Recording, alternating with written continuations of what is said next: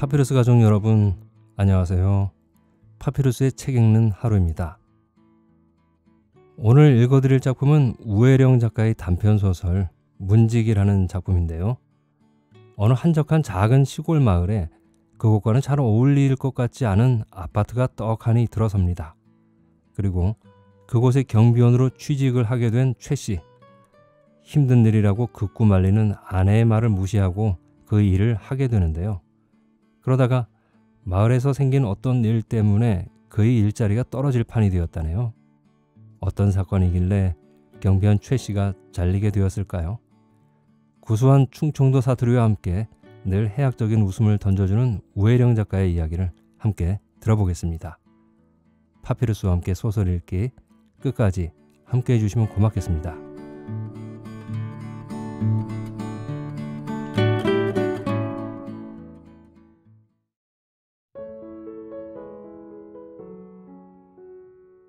문지기 우혜령 아, 뭐 땜이 한때 이장까지 지내신 양반이 해필이면 문지기를 허시려고 해요. 그래? 뒷동네 임씨가 몇 번 들락거리며 이런저런 소리로 들쑤시는 기색이 심상치는 않았었다.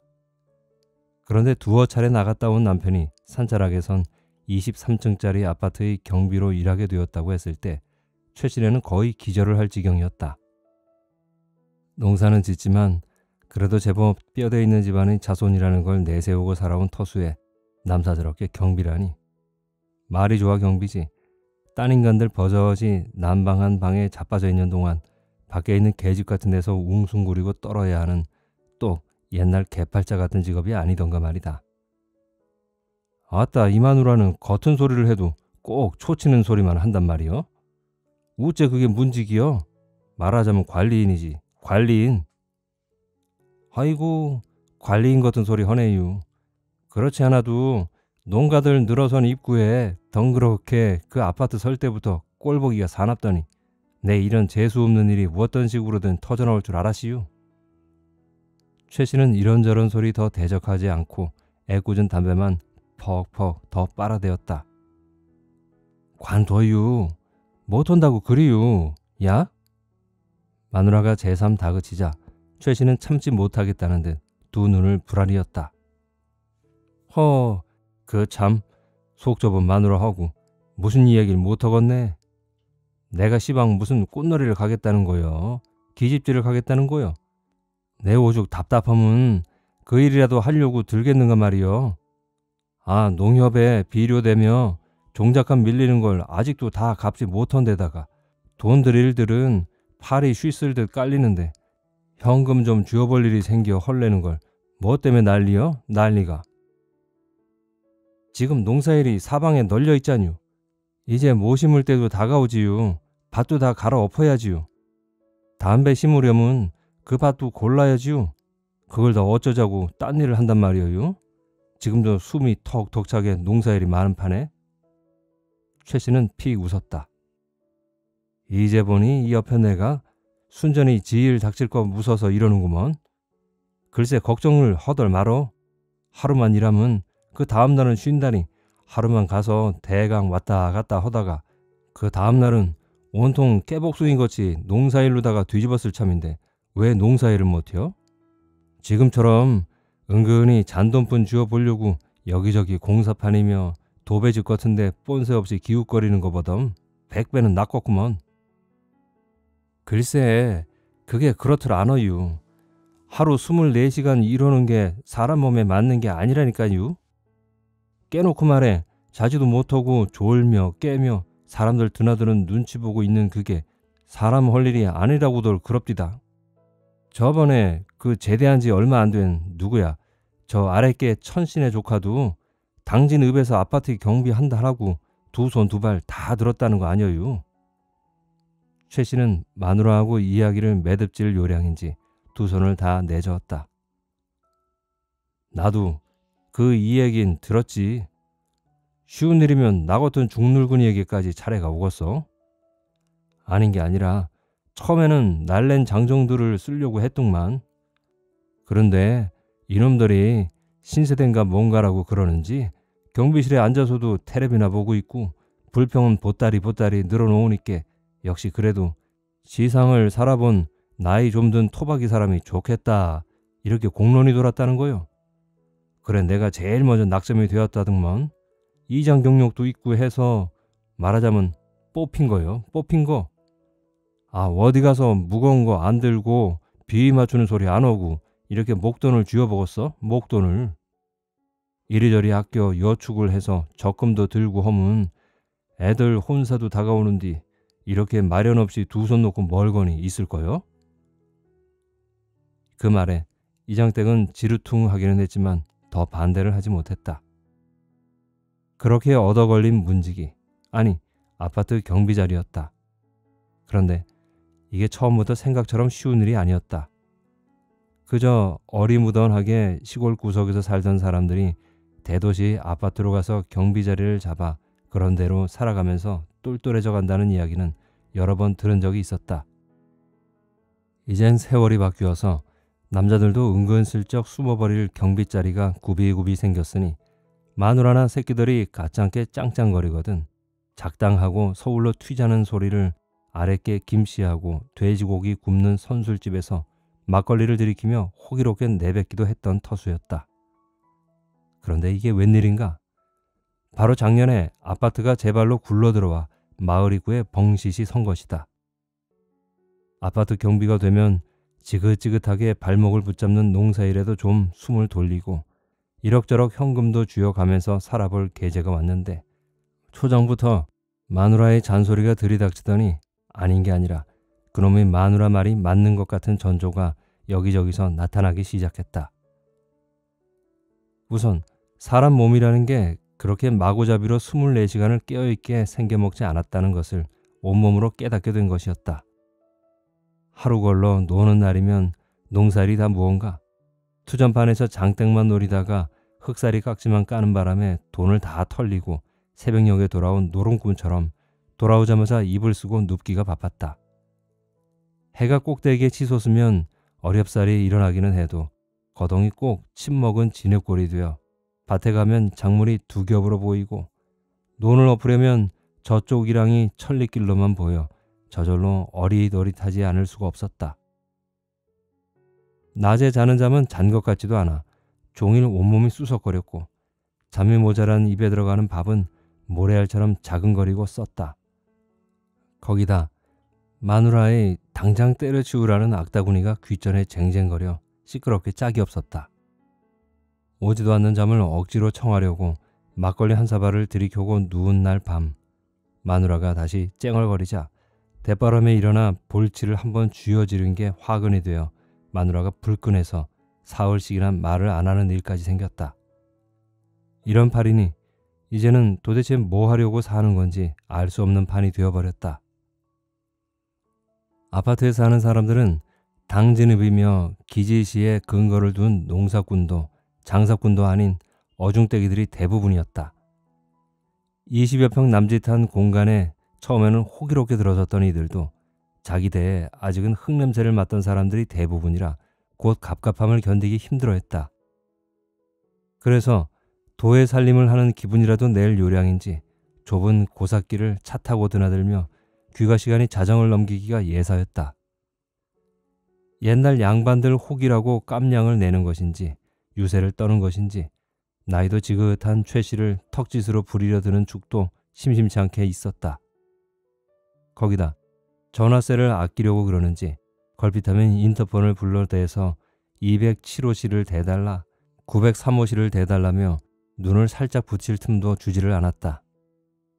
어떻게든 서너 달 더 버티어보면 길도 들고 자리도 잡히리라 안간힘을 썼지만 한 달이 지나고 나자 사료 못 먹은 가축 마냥 몸이 축이 가는지 얼굴을 만지면 손바닥에 거칠한 기운이 느껴졌다.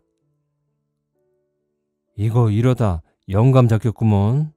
돈 욕심도 좋지만 그만 때려치워 버리라니까요.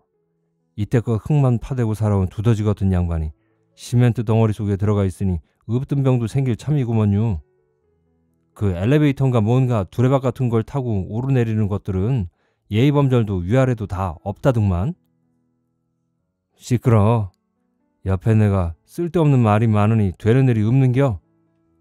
임씨는 마누라가 점심도 연령성으로 싸우고 보온병에 커피도 싸우고 하면서 기운을 내어주니까 부룩부룩 일만 잘하더만.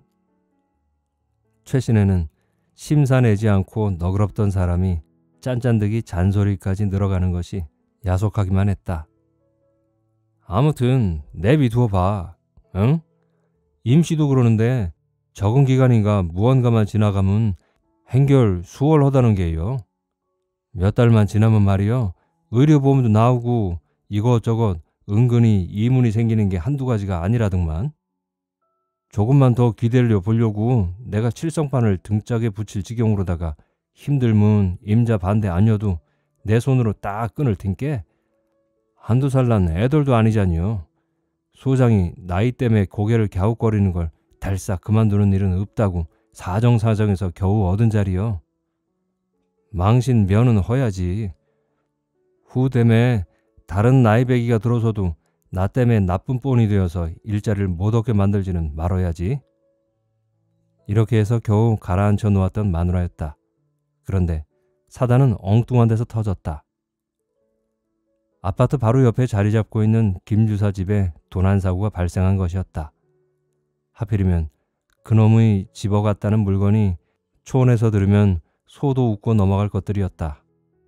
바로 장정이 한아름을 둘러도 주위를 다 둘러싸지 못할 큰 돌절구 하나와 반질반질하게 길이 든 커다란 소염물통이라는 게 아닌가. 이상한 낌새가 생긴 건 없어지기 한 주 전이었다고 했다. 농사꾼 티가 채 가시지도 않은 낯선 남자 둘이 들이닥치더니 그 두 가지를 50만 원에 팔라고 제발 사정을 했다는 것이다.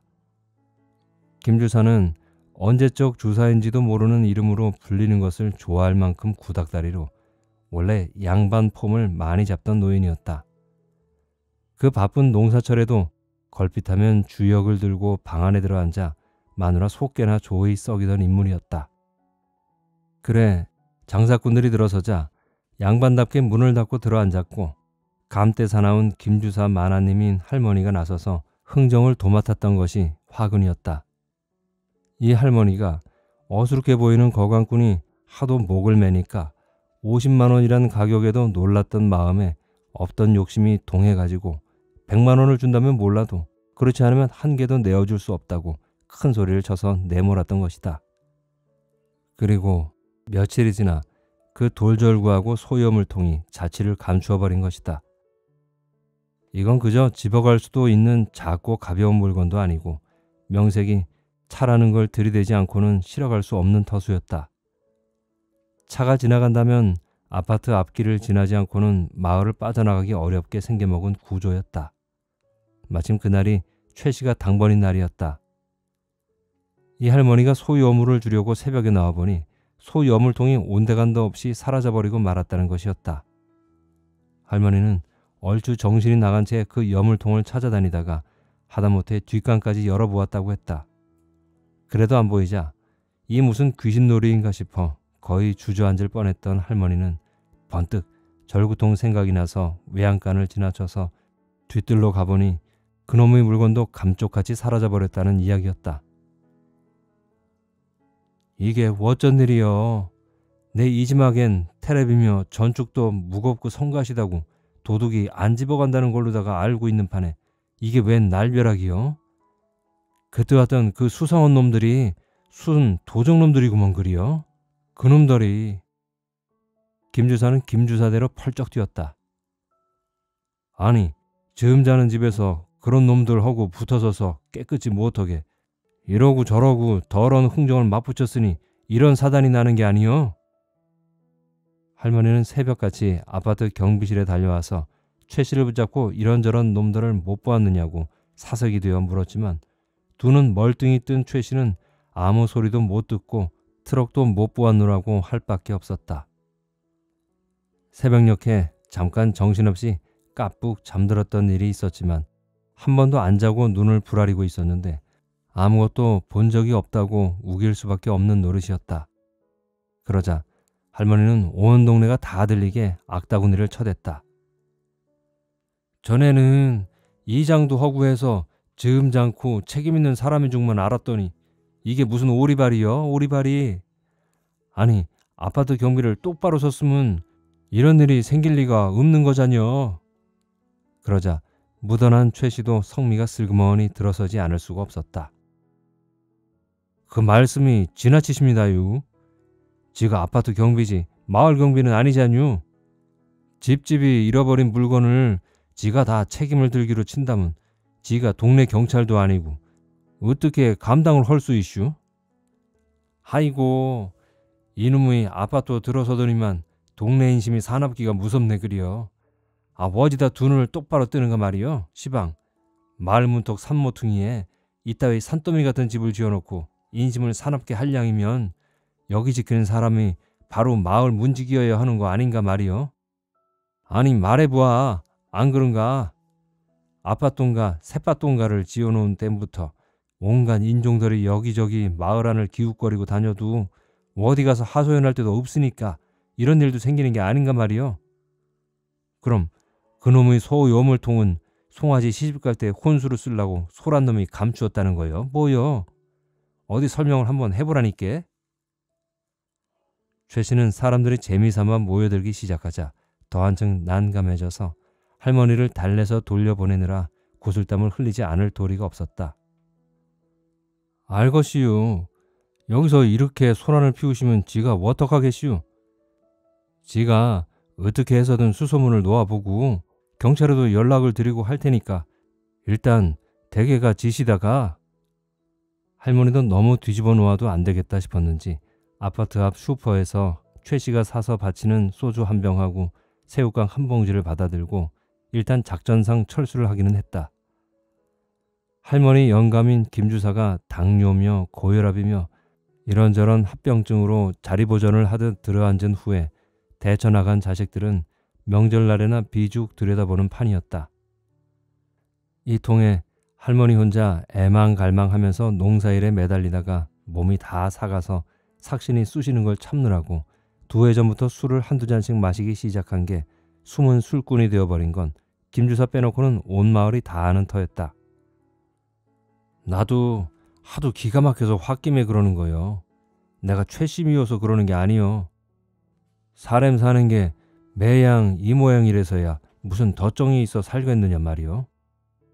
소 염을 통해 돌절구꺼정 집어가는 놈의 나라에서 무슨 영화를 보자고 살겠느냐 말이요. 나이라도 젊어야 미국 놈하고 혼인이라도 해서 이놈의 나를 떠나든가 어쩌든가 하지. 할머니가 소주병을 치마폭에 감추고 슬며시 떠난 후에도 최 씨는 한동안 맥이 풀려 거동을 하지 못했다. 그저 어안이 벙벙하기만 할 뿐이었다. 한편 생각하면 할머니 말이 옳은 것 같기도 했고 한편 생각하면 억울하기만 하기도 했다. 그러나 죄라면 한밤중에 트럭이 가는지 소도둑이 가는지 모르게 까북 골아 떨어져 버린 자기 탓이니 뭐라고 크게 떠들 계제가 되지도 못했다. 최 씨에게 전화로 신고를 받은 경찰은 헛웃음부터 웃었다. 뭘 훔쳐갔다고요? 소 요물통하고 돌절구하고? 아니 그런데 온 동네가 다 그걸 깜깜 몰랐다는 게 말이 됩니까? 예? 말이 되느냐 이거예요. 최 씨는 기가 막혔다. 어째 일이 사람들마다 자기만 나무라는 것만 같으니 알 수가 없는 일이었다. 뭐라고 한마디 하려는 참에 저쪽의 목소리가 이어서 들렸다. 그건 그렇고 지금 신고하시는 분은 어떻게 된 관계슈? 저는 여기 세범 아파트 경비인데요. 그런데 그거 잃어버리신 분이 거기 주민이슈? 그런 게 어떻게 아파트에 있것이오? 지가 원래 이 마을 사람이거든요. 한때 이장도 지내고 그랬슈. 그런데 도난당한 집이 마을 초입에 있어서 그 집 할머니가 마을 경비 지대로 안 본 내 책임이라나 뭐라나 하면서 한바탕 난장을 치고 가슈. 그래, 지가 신고는 맡아 해드리겠다고 사정사정해서 집으로 겨우 보내드린 참이유. 허, 거참. 아파트 경비가 동네 경비까지 보라는 이야긴 또 무슨 경우요? 선거가 막 끝난 참이라 그런지 그래도 선거 전에는 깍듯하게 따라붙던 존댓말을 중둥무의를 해서 내어버리고 반말 비스듬하게 내어뱉는 말이 몹시 비위에 거슬리기는 했다. 그제서야 마누라가 그 악을 떨고 경비를 못 서게 하던 이유를 어렴풋이나마 알 수 있을 것 같았다. 농투성이가 그저 사람이 받는 최악의 대접을 받는 세상에 살고 있는 줄만 알고 있었는데 처신이 내려가자면 우물 속에 빠지듯 한이 없는 모양이었다. 이 소식이 온 마을에 퍼지자 사람들마다 수렁거렸다. 그런 걸 다 집어간다면 어찌 맴 놓고 잠 한숨 푹 들 수 있을까? 이러다간 집까지 떠매가겠구만. 난 이놈의 낡은 집을 누가 떠매가면 좋겠구만. 그래야 빈터에 새 집이라도 짓지요.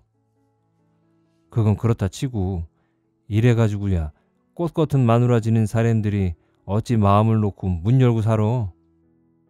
아이고 꿈 깨슈. 이 동네를 빗자루로 다 쓸고 찾아보슈. 꽃 같은 색시라고는 씨알 머리도 없는겨. 아무튼 말세요 말세. 그놈의 공약은 선거철이면 불일 듯 하더만 무릎 꺾인 놈들처럼 학교 운동장 아무데나 엎어져서 유권자들에게 절이나 해대지 말고 지킬 재산이야 지대로 지켜줘야지. 불려주든 못할 망정 말이요. 몸이 잽싸고 이 일에 저 일에 잘나서는 아랫게 김씨는 저녁 숟갈을 놓자마자 집에서 자고 있는 최 씨를 찾아 나섰다. 이게 우찌된 일이요, 형님. 아 일어나 보시오. 이게 온 마을의 문제 아니유? 저놈의 아빠똥과 뭔가가 부진 부진 들어설 때부터 조짐이 상스럽지 못했다니께.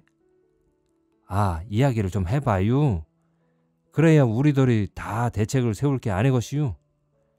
대대적으로다가 아파트에 항의를 하던가 방범대를 조직하던가 말이유. 아직 잠이 덜 깨 눈을 숨벅거리는 최 씨는 하루 종일 하도 시달려 이제 아무 말도 하고 싶지가 않았다.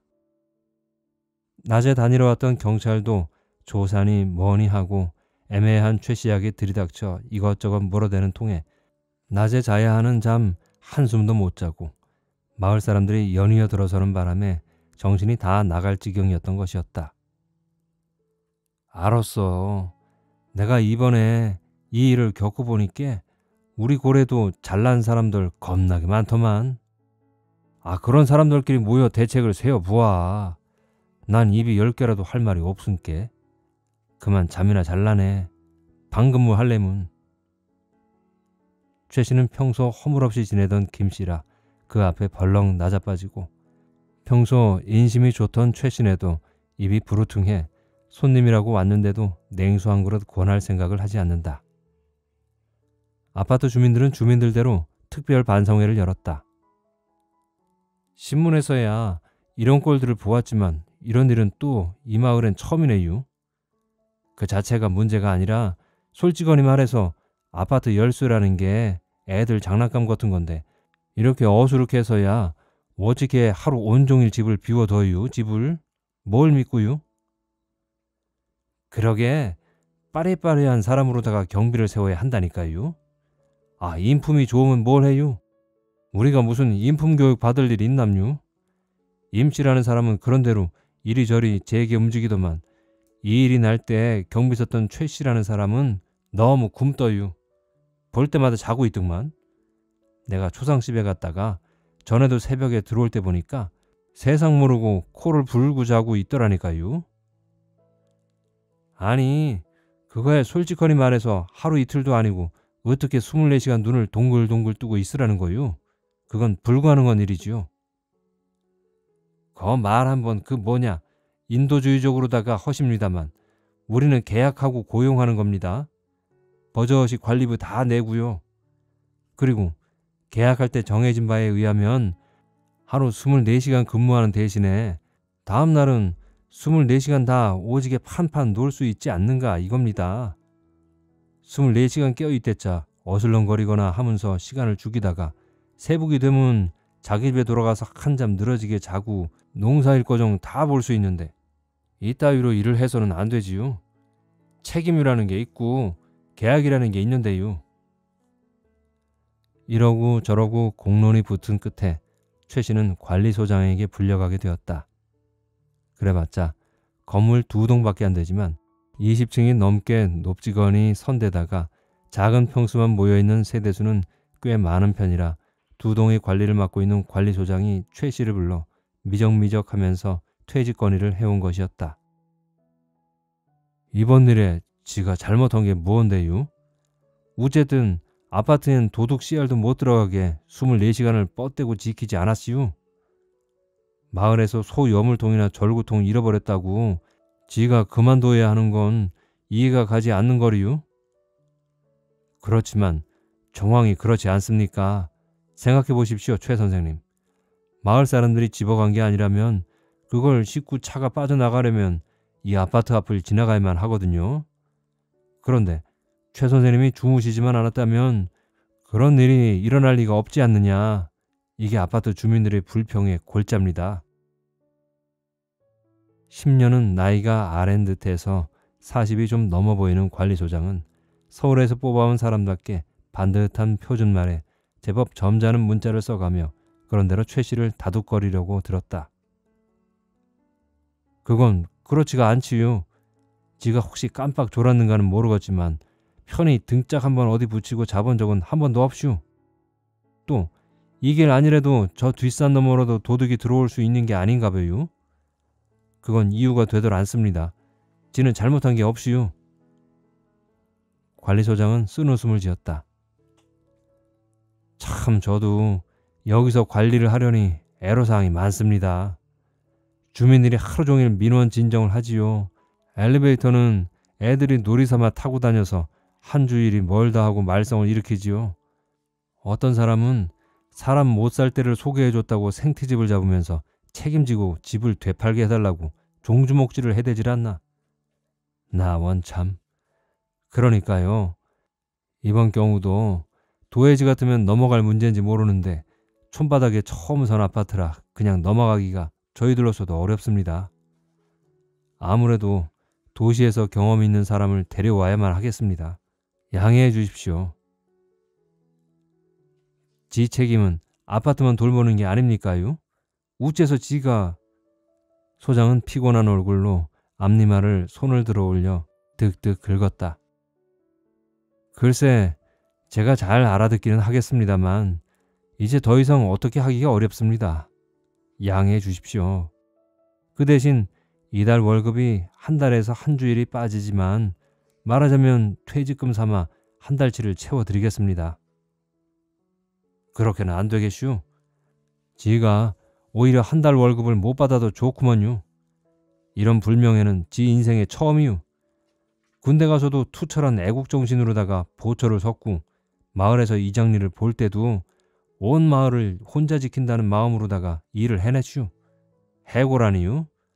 그런 일은 지 인생에 있을 수 없습니다.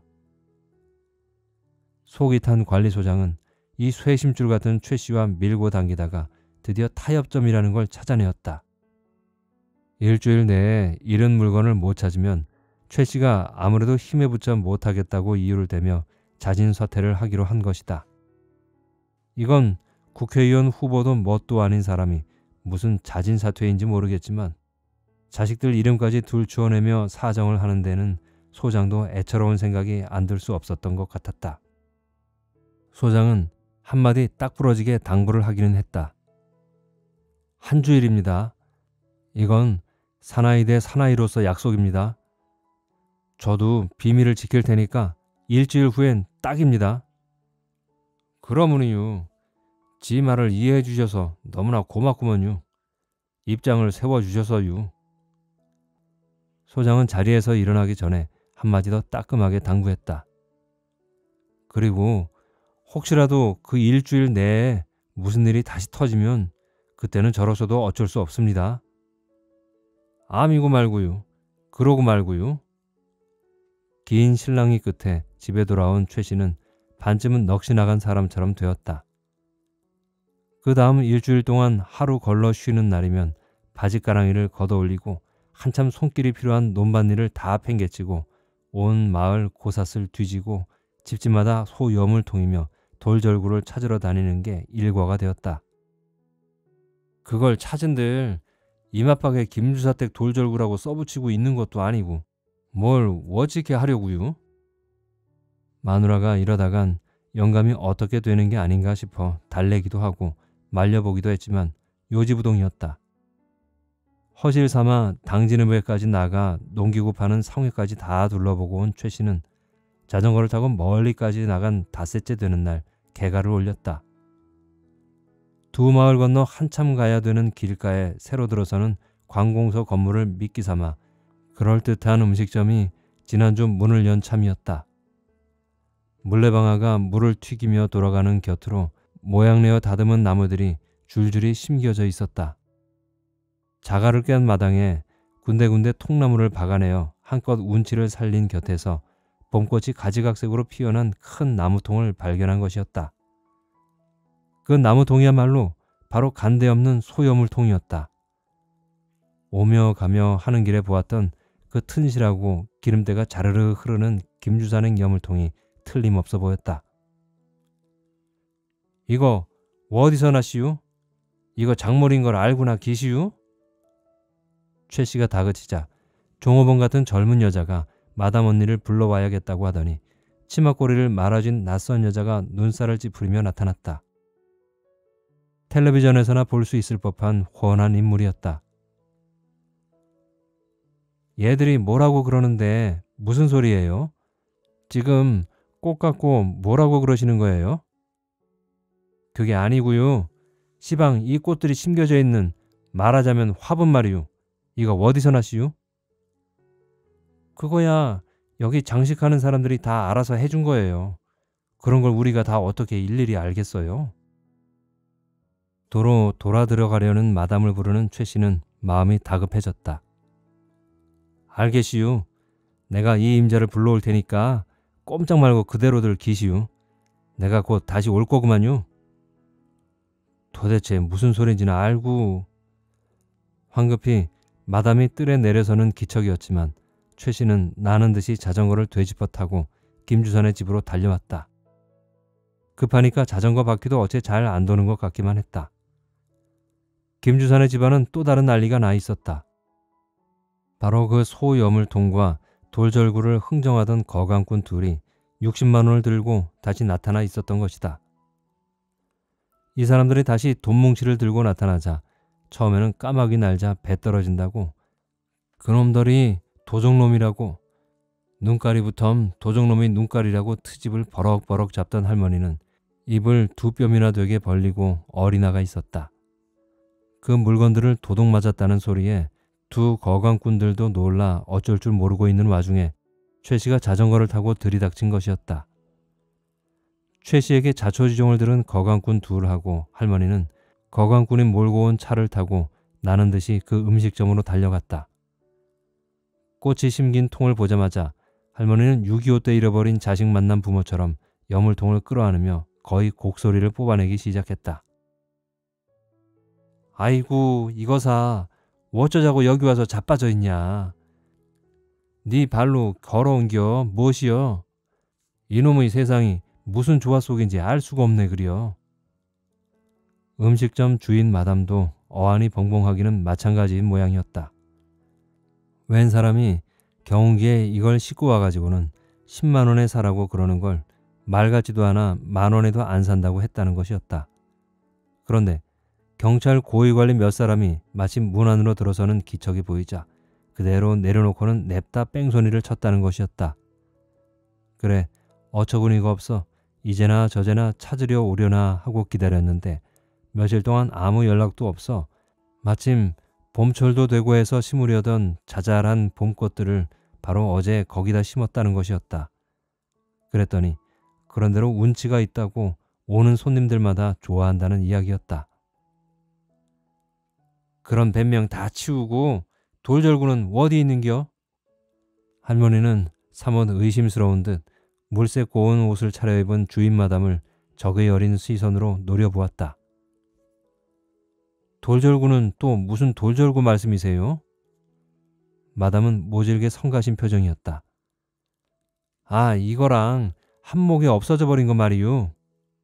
그걸 제가 어떻게 알아요? 그럼 누가 아는 거요? 아무튼 이건 우리 거니께. 할머니가 여물통에서 꽃을 그대로 후벼 파버릴 기세로 덤벼들자 마담이 날카로운 소리를 내었다. 이러지들 마세요. 그러고 아닌 게 아니라 그게 할머니네 거라는 보장이 어디 있어요? 증거를 대라고요. 증거를. 아 참 증거라니. 내 여물통을 내 거라는데 무슨 증거가 필요하단 말이요? 댁은 남편하고 어디 가면 남편이라고 맨날 증거를 대고 다니슈? 느닷없이 나타나서 이러시면 제가 어떻게 갈피를 잡겠어요? 할머니는 편을 들어달라는 듯이 거광꾼들을 돌아보았다. 좀 봐주시오. 그렇게 높은 가격을 매기셨던 거니까 물건을 보면 정확하니 알 수 있지 않겠슈? 두 사람이 멈칫거리며 여물통으로 다가서더니 한 사람이 새된 소리를 내질렀다. 아이고, 이건지 아닌지도 모르겠지만 이건 이제 물 건너 가시오. 아니, 우째서유? 할머니가 다가서자 하관이 빠른 젊은 거강꾼이 쓴웃음을 지었다. 어디다 꼬라박았는지 가운데 금이 쩍거니 갔구먼요. 인젠 여물통으로다가도 못 쓰게 되었슈. 그러고 보니 여물통 양옆에 가로로 쫙 금이 가 있어서 그리로 흙기운이며 물기운이 배어나와 있었다. 할머니는 두 눈이 점점 더 커지고 두 손이 부들부들 떨리는 것이 금세 울음이라도 터뜨릴 기세였다. 최 씨가 곧 쓰러질 것만 같은 할머니를 부축하자 할머니는 일에 시달려 북두 갈구리가 다 된 손으로 최 씨의 서치자락을 옹그라지게 잡아채웠다. 최 씨가 지대로 마을 문지기 노릇만 허였어도 이런 사단은 아예 나지도 않았을 거 아니요. 다시 시작되는 생트집에 어안이 벙벙해진 최 씨는 억지로 할머니의 손을 떼어놓았다. 경운기로다가 마을 사람이 실어 날랐다면 꼭 그 길이 아니어도 좁빗한 새길 옆으로다가 날를 수가 있시오. 그렇다면 더더군다나 지옥은 아무 문제가 없는 거지요. 그렇다면 이 일의 책임은 누가 지는가 말이요. 이렇게 다 요리 빼고 조리 빼고 한다면 내 아까운 소유물통은 어찌 되는가 말이요. 거강꾼이 딱한지 할머니를 뜯어말리면서 말을 붙였다. 그나저나 잘 기억을 더듬어 보셔요. 이 물건을 그 값을 불렀다는 걸 동네방네 떠들고 다닌 사람이 있은께 이런 일이 벌어진 거 아니유. 갑자기 최 씨의 셔츠를 잡은 할머니의 손이 느슨해졌다. 할머니, 누구누구한테 그 말을 했슈? 그게야 내겠다는 금이 하도 황당한 일이니까 내가 이 사람 저 사람한테 이 이야기를 하기는 했지. 그 이야기를 해준 사람이 범인일 거요. 그게 누구요? 할머니의 손이 맥없이 최 씨의 서치에서 떨어져 나갔다. 몰라. 하도 이 사람 저 사람한테 이야기를 했으니까. 그럼 틀림없구먼요. 그 이야기를 들은 사람들 중 하나가 발사심을 낸 거구먼요. 뭘. 거강꾼 한 사람은 마당 한 곁에 서서 이 모양을 바라보고 있는 마담에게 물었다. 혹시라도 말이유. 그 사람 얼굴을 다시 보면 기억이 날 수 있을 것 같아요. 마담은 얼굴을 살짝 찌푸리며 고개를 저었다. 촌 사람들이 다 그 얼굴이 그 얼굴인데 어떻게 그런 걸 구별해요? 나중에 무슨 소리를 들으려고? 할머니가 대뜸 나섰다. 거 시골에 와서 장사해 먹을 생각이면서 그렇게 잘난 척 촌사람이니 뭐니 하는 건 근본적으로다가 틀려먹은 일이요. 참 경우 없기는 나무의 바쁜 영업집에 와서 이런 소란을 피우고 있으니 촌사람 소리가 안 나오게 됐느냐고요. 최 씨가 이렇게 되니 안이 나설 수가 없었다. 그건 미안하게 되었구먼요.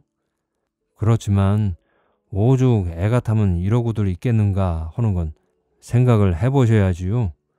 이런 음식점이나 아파트니 하는 것들이 들어서면서 아주 사람 못 살게 돈독이 오른 동네로 변해버리고 있으니 심란해서들 그러지요.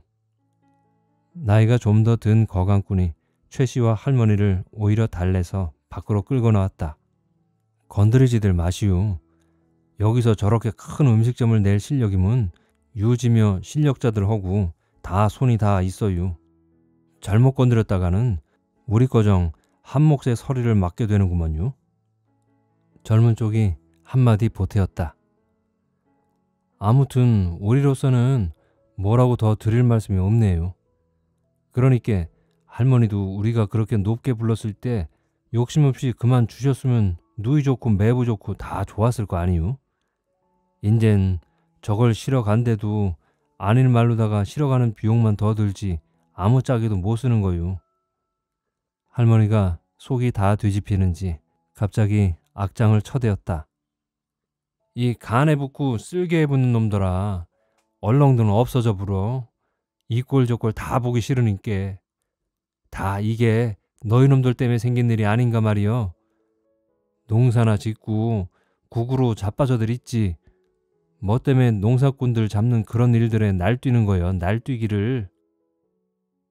덧정이 떨어졌는지 얼굴에 불쾌하게 화기가 치민 거강꾼 두 명은 음식점 문 밖에 있던 차를 집어타더니 정말로 인사도 없이 휑하니 차를 몰고 떠나버렸다. 최 씨와 할머니만 끈 떨어진 뒤웅박처럼 음식점 문 밖에 달랑 남게 되었다. 화기가 좀 가라앉은 할머니가 명구스러운 듯이 말했다. 성민은 내었지만 어떻게 집에 돌아간디야? 그러니께 조금만 참으실걸요. 집에 거정만 태워달라고 그러고 나서 혼을 내도 낼걸요. 두 사람은 터덜터덜 이웃 마을 입구로 걸어 나오기 시작했다. 그러고 본게 내 최시연티 참으로 미안하게 되었네. 공연슬이 부잡을 떨어갖고 그러니께 늙으면 얼렁 죽어야 혀. 구시는 나하고 영감이랑 안 잡아가고 뭘 하고 있는가 몰라. 할머니는 치마폭을 뒤집어 비죽비죽 눈물이 나오는 눈가를 닦더니 땅이 꺼지도록 한숨을 내쉬었다. 최 씨도 비감해지면서 세상 떠난 어머니 생각에 코끝이 매워왔다. 그런 말씀 마시고 오래오래 사셔야지요. 네, 이제 마을 문지기니 뭐니 그런 소리는 다신 안 올 테니까 아파트 경비나 잘 서시오, 잉? 최 씨는 실쭉 헛웃음을 웃었다.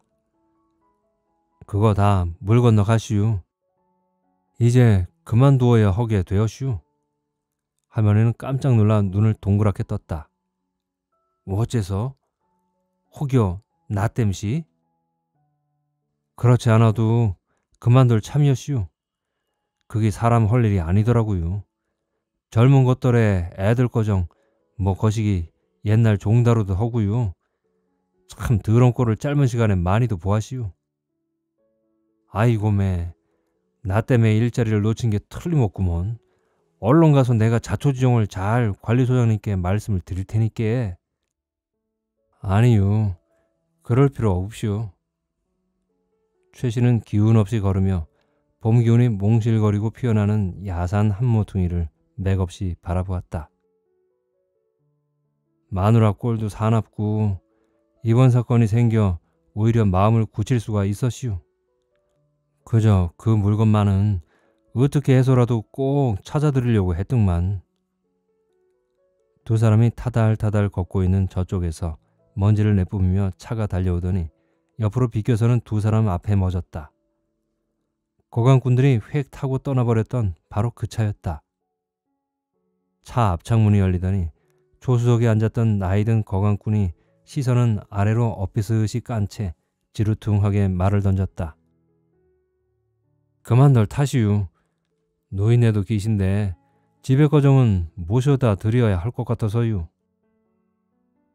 두 사람은 머쓱해하면서도 허둥지둥 차에 올라탔다.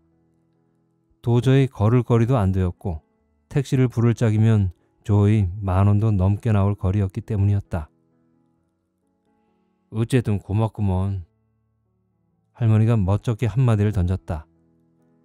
차창 밖은 연록빛 잎새가 안개처럼 나무마다 피어오르고 개나리의 진달래가 흐드러지는 봄이었다. 가라오픈 논에서는 아지랑이가 아련히 피어오르고 있었다. 젊은 거강꾼이 갑자기 퉁 한마디를 내뱉었다. 더러운 놈의 시상이구만요. 우리도 이거 땅이나 파던 인간이 반 사기꾼 것이 이러고 다니는 신세니 그게 인사동인이 머니 거치면 몇백만 원도 더 넘게 팔려나간다는구먼요. 나이든 쪽이 멋쩍은 듯 한마디를 보태었다. 그게 다 몰래 일본에도 나가고 그런다니 참 좋았속이요. 시골 무지렁이들 쓰는 촌 물건이라고 깔보기만 하더니 이제 와서 기가 막힌 물건들이라고 사족을 못 쓰니 말이요. 최 씨가 갑자기 지공스럽게 말을 내었다.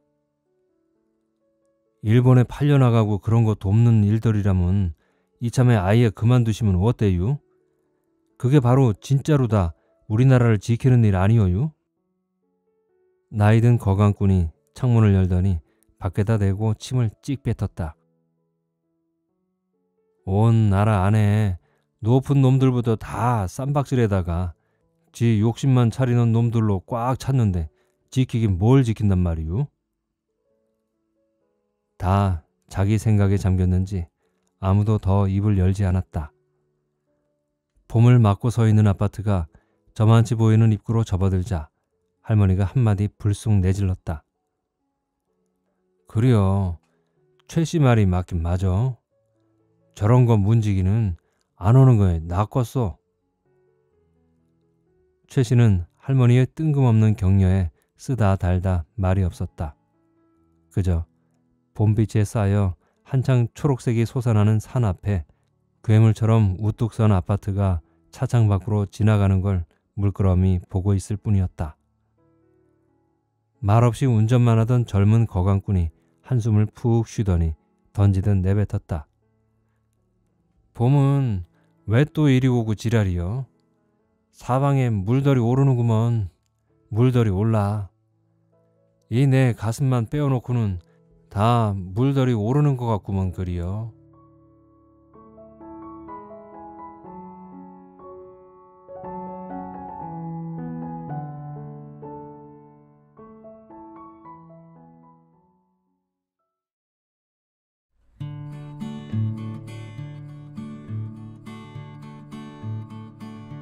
재밌게 들으셨나요?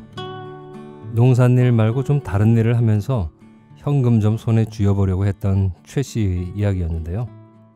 하필이면 마을 입구에 들어선 고층 아파트에 경비로 취직을 하게 됩니다. 마누라가 말리는데도 그 말을 귓등으로도 듣지 않고서는 돈을 벌 욕심에 일을 시작하죠. 그런데 아주 요상한 일이 발생합니다.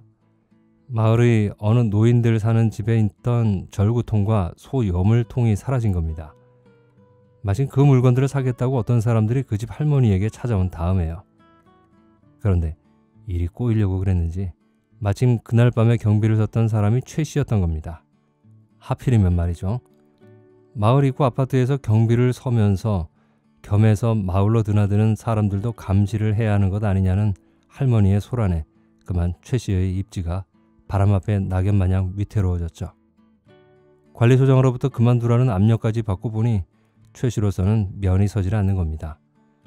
스스로 그만두면 그만두었지 잘리다니요. 결국엔 훔친 범인이 할머니의 입방아 때문에 욕심이 생긴 동네 사람일 것이라는 것으로 결론이 지어진 후 할머니의 미안하다는 사과의 말로 최 씨의 일은 마무리가 됩니다. 이 소설을 보면서 저는 절굴통과 소여물통 절도 사건과는 별개로 경비일이 참 고되겠다는 생각을 하게 되었습니다. 요즘 사람들은 대부분 아파트에 살죠. 요즘에 짓는 아파트들에는 보안 장치가 잘 돼 있어서 아파트 동마다 경비가 좀 채 없습니다. 그런데 예전에 오래전에 지은 아파트들을 보시면은 지금도 한 개 동마다 경비 아저씨들이 자리를 지키고 계시거든요. 그분들이 하루 종일 오가는 사람들을 살피고 밤에는 동 주변을 순찰도 하고 청소도 해주시는 바람에 입주민들이 편안하게 지낼 수가 있는 겁니다. 그런데 정말 힘드실 것 같아요. 하루 일하고 하루 쉰다곤 하지만 최 씨 아내가 말했듯이 24시간 눈을 뜨고 있어야 하는 일이어서 사람 몸에는 아주 안 좋은 거거든요. 저도 밤샘을 하고 일을 하다 보면 다음날 아무리 자고 자도 턱 밑까지 차오르는 피곤이 쉽게 사라지질 않습니다. 너무 힘들죠. 그렇다고 다음 날은 쉰다고 해서 하루 종일 잠만 자게 될까요? 낮에 잠을 자야 하는데 또 낮에는 뭔가 할 일이 생기기 마련이거든요. 그럼 온전히 쉬지도 못하고 다음 날 또 하루 종일 일을 하시려니 피곤은 또 쌓이게 될 거고 그러다 보면 본의 아니게 깊은 밤엔 자신도 모르게 스르르 졸기도 합니다. 그런 모습을 보고 어떤 입주민들은 우리가 월급 줘가며 일을 맡기는데 경비실에서 자면 되겠냐고 큰 소리를 내기도 하죠. 거기다가 청소가 제대로 되지 않는다고 타박을 하거나 입주민들의 개인적인 일을 시키거나 하기도 한답니다. 가히 21세기 신종 머슴제도 같지 않나요? 저는 이렇게 생각해요. 월급 준다고 그 사람의 모든 것을 사는 것은 아니기 때문에 경비일과 그에 따르는 부수적인 업무 외에 다른 것을 요구하는 것은 옳지 않다고 봅니다. 사람이 사는 세상이잖아요. 각자 이 사회에서 맡은 일들을 성실히 잘 수행하면 되는 일인데 돈 좀 내고 사람을 쓴다고 마치 내 종을 다루듯 해서야 되겠습니까? 가끔 사회 뉴스 일면에 아파트 입주민의 갑질 때문에 어, 경비원이 폭행을 당하거나 압박에 못 이겨서 목숨을 끊었다는 기사를 접할 때 저는 저도 모르게 두 손이 불끈 쥐어집니다. 그리고 너무 속상하죠. 그래서 우리들의 행동과 우리들의 모습에 대해서 한 번 더 생각을 하게 됩니다. 도대체 갑질하는 그런 사람들의 마음 속엔 인간에 대한 예의란 게 없는 것일까? 갑질 인간들도 누군가의 아버지, 어머니, 딸, 아들일 텐데 한번 입장을 바꿔 생각할 수는 없을까? 경비 일 하시는 사람들도 그들처럼 그런 가족들이 분명히 있을 텐데 설마 그런 사람들이 어딘가에서 뚝 떨어져 나온 별종의 사람들로 생각하는 건 아닌가? 저는요, 세상에서 돈 좀 있고 또 좋은 차 좀 타고 다닌다고 타인을 업신 여기고 막대하는 그런 사람들을 세상에서 제일 못나고 부족하고 심하면 정신병을 가진 사람들이라고 생각하고 있습니다. 그렇지 않고서야 정상적인 사고를 하는 사람들이 그럴 수는 없거든요. 제 말이 맞지 않나요? 정상적인 생각을 하는 사람들이 남을 깔보고 무시하진 않습니다. 제가 좀 흥분한 것 같죠? 이 소설은 그렇게 한바탕 소란으로 끝을 맺었지만 이 이야기 속에 비친 경비라는 사람들에 대한 요즘 사람들의 나쁜 행태가 떠올라서 저도 모르게 다른 길로 좀 빠졌습니다. 저는 부자여도 타인을 배려할 줄 알고 낮은 자리에 있는 사람에게도 존중을 보여줄 수 있는 사람이 되길 스스로에게 바라고 있습니다. 정말 저 자신이 그런 사람이길 바랍니다. 오늘 읽어드린 작품은 역시 우혜령 작가의 작품답게 찰진 충청도 사람들의 사투리와 함께 재미있는 이야기였다고 생각됩니다. 다음에도 좋은 작품으로 여러분들과 만나 뵙길 기대합니다. 이상으로 파피루스의 아주 주관적인 감상평을 마치겠습니다. 우혜령 작가의 단편소설 문지기를 읽어드렸고요. 끝까지 함께 해 주신 파피루스 가족분들께 진심으로 감사드립니다. 저는 행복한 책 읽기 파피루스의 책 읽는 하루였습니다. 오늘도 고생 많으셨고요. 다음에 만나 뵐 때까지 편안하고 행복한 시간 보내세요. 다음에 또 봬요.